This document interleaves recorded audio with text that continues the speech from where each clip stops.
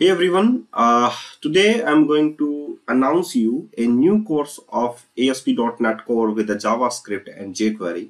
And in this course, just I'm going to uh, give you a lot of uh, information about the jQuery and the JavaScript. It's a mixed up uh, course just introduce on your, on your Udemy.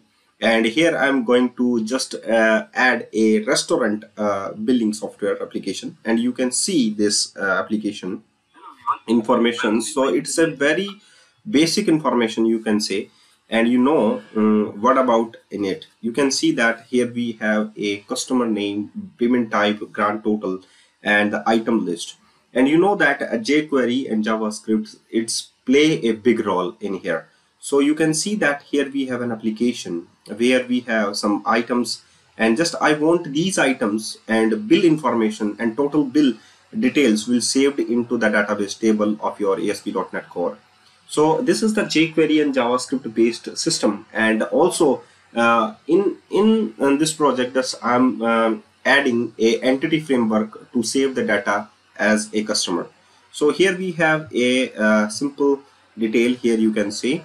So this is the basic you can say that here we have a item names item price quantity discount total actions and you know that uh, just here we have a bill details of restaurant applications.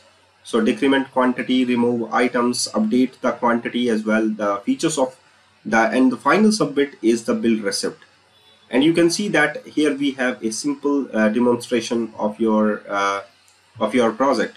So that is that you can just generate a pdf also and uh, you can just print out the application.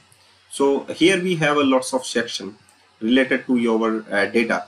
Like online restaurant billing system start from scratch pro project architecture download extensions and uh, models for the projects database connection strings uh, identity configurations services item CRUD operations and two more sections like design build form javascript and jquery part save items in the database table. Javascript and jquery parts is uh, uh, too much part and model pop-up options is there and save item in the database table. So there is there we have a lots of options in this project. So you can buy this and just click the uh, link below your description box. So here we go and just do this because offer is started now. So you can uh, purchase this course and learn more about jQuery and uh, JavaScript with the ASP.NET Core